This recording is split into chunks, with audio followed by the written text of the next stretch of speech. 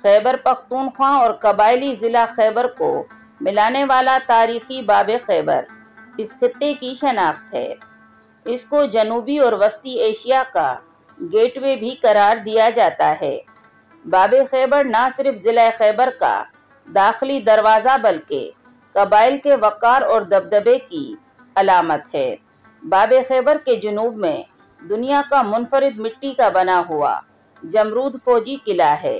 जबकि शुमाली दीवार पर तारीखी कुतब नस्ब हैं, जिन पर दर्रा खैबर की सदियों पर मोहित तारीख कुंदा है।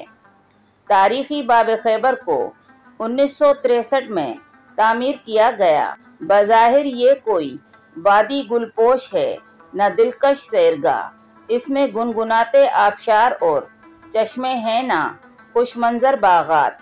ताहम दुनिया के कोने कोने से सयाह दर्रा खैबर देखने आते हैं। ये दर्रा कौमों, तहजीबों, फ़ातहों और नए नए मजाहब की बका और फना, उरूज जवाल की एक मुकम्मल तारीख है।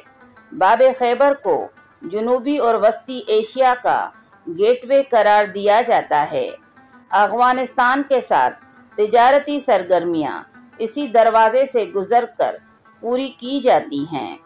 बाब खैबर को दुनिया की अजीम शख्सियात के कदम चूमने का एजाज़ भी हासिल है। सऊदी फरमारवा शाह फैसल अकवा मुतहदा के सबक सेक्रेटरी जनरल कूफी अनान और लेडी डियाना समेत सैकड़ों बैन अवी रहनुमा इसी दरवाजे से गुजर कर तारीखी दर्रा खैबर की सैर कर चुके हैं।